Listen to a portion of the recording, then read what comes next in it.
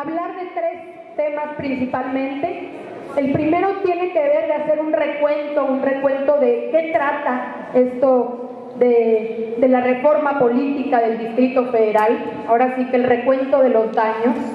Lo segundo, eh, cómo se va a conformar esto de la Asamblea Constituyente, el tema de la elección, las trampas que se establecieron para el tema de la, de la distribución de constituyentes y el tercero, ¿qué nos estamos jugando el 5 de, en la elección del 5 de junio? ¿Qué nos estamos jugando en la nueva constitución del Distrito Federal?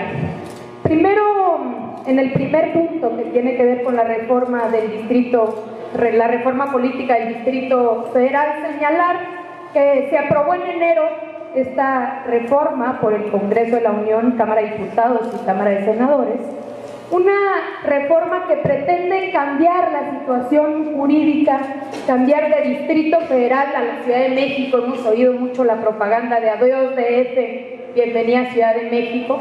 Bueno, esto implica mayor autonomía para la Ciudad de México. Eh, anteriormente no teníamos una constitución, nos regíamos por el estatuto de gobierno y hoy vamos a discutir y vamos a aprobar una constitución para los ciudadanos de la ciudad. Y ello implica muchas cuestiones. Lo segundo tiene que ver con el cambio también de las delegaciones. Eh, pasarán de ser delegaciones alcaldías. Estas alcaldías van a tener concejales, que será una presencia, digamos, de las distintas fuerzas políticas que existan en las delegaciones, para co-gobernar con los alcaldes y que no sea como ha sido hasta ahora solo una cuestión de decisiones unilaterales por parte del delegado.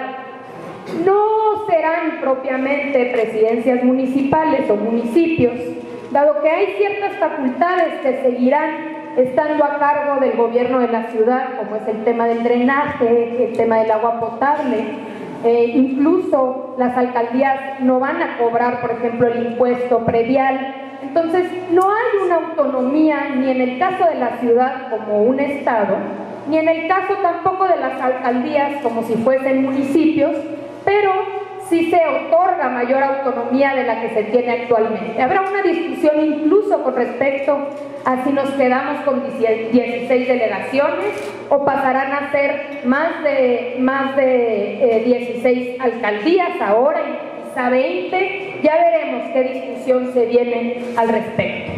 Lo segundo tiene que ver con cómo se ¿Cómo se distribuyó? ¿Cómo va a estar el tema de la elección y la conformación de la Asamblea Constituyente? Y este creo que es un tema eh, nodal, sobre todo para empezar a vislumbrar las trampas que se pusieron por parte del gobierno federal, sin duda de la mano del gobierno de la ciudad y de Mancera. Pues bien, vamos a tener 100 constituyentes, una asamblea que se van a conformar por 100 diputados, 100 constituyentes. Estos 100 constituyentes, 40%, es decir, 40 de ellos van a ser electos por dedazo.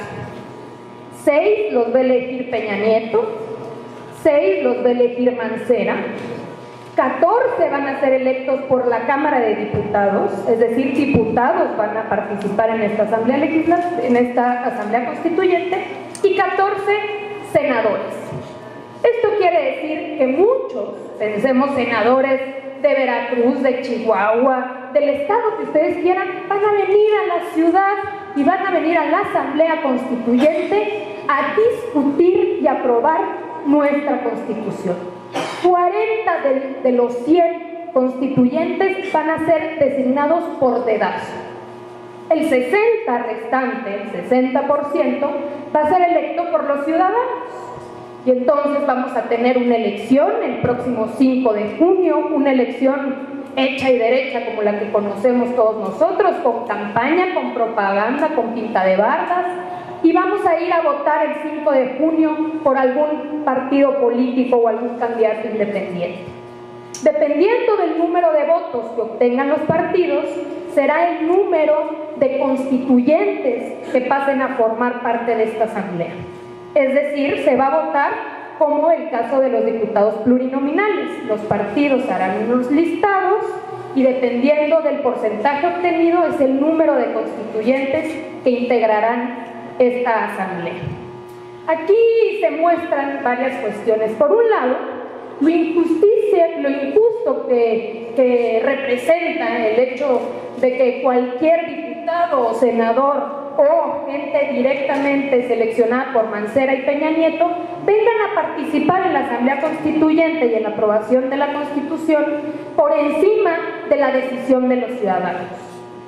Si nosotros hiciéramos una radiografía de los resultados que se obtuvieron en 2015, justo en la elección pasada, podríamos ver que, por ejemplo, el PRI, que obtuvo el 17% de la votación en la ciudad, va a tener, tendría en este supuesto 31 constituyentes, 17% de representación en la ciudad y tiene 31 constituyentes.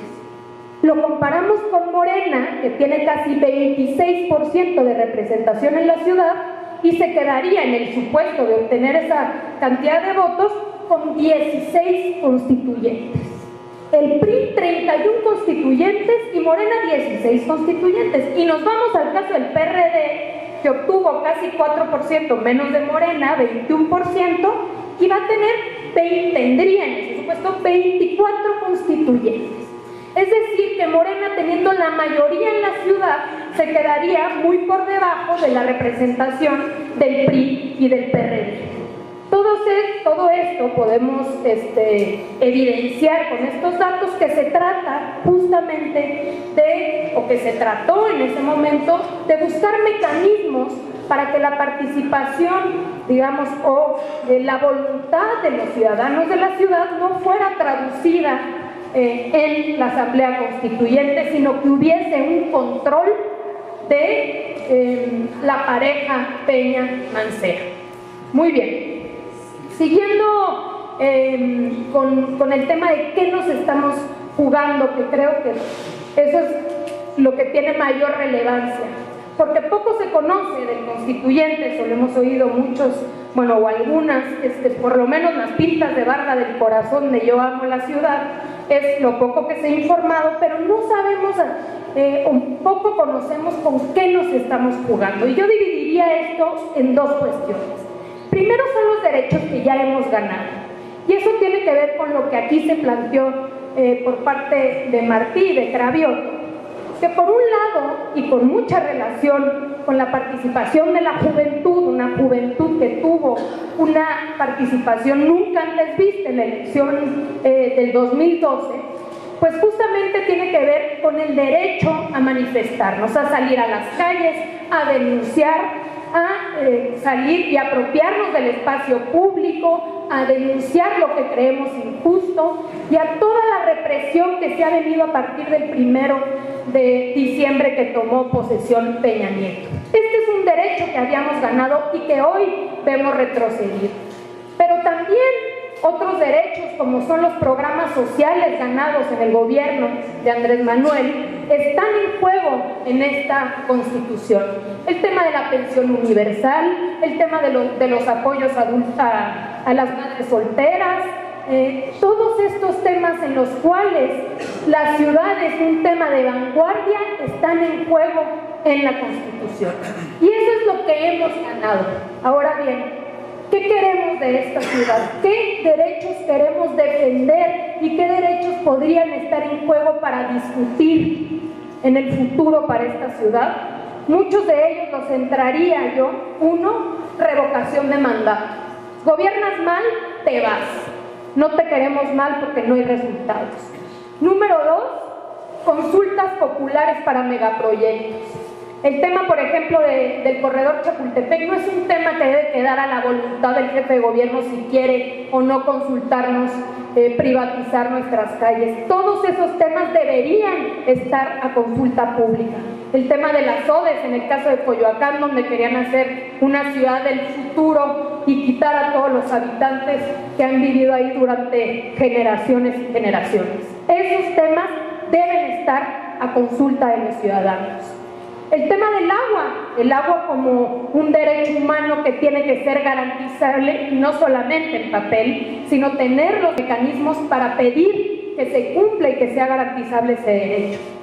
Y en el tema de acceso a la justicia, que es el tema que me toca a mí coordinar en este plan que tenemos en Morena de hacer una este, propuesta de la reforma, varios son los temas que yo vinculo directamente con eh, la juventud.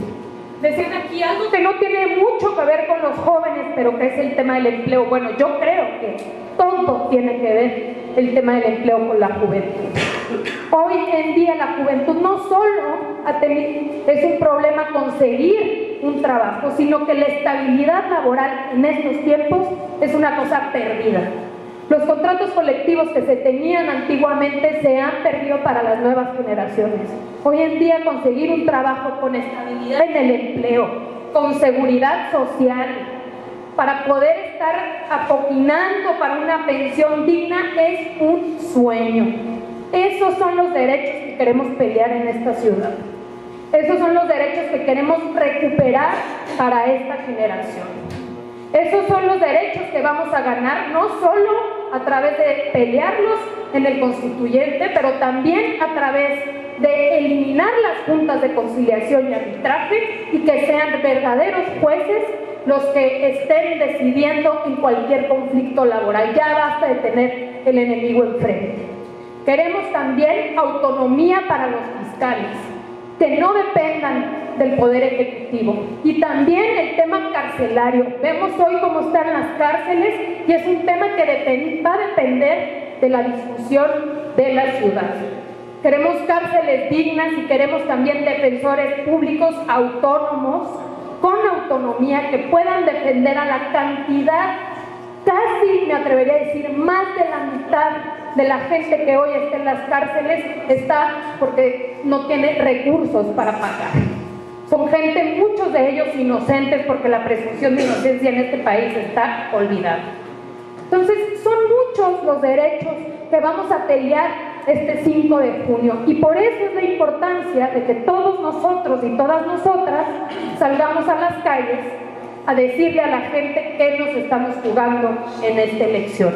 Y que el voto por Morena es el voto por una ciudad de avanzada que no solo es la defensa de lo que ya teníamos, que es la defensa de lo que queremos para esta ciudad y lo que queremos para esta generación. Muchas gracias.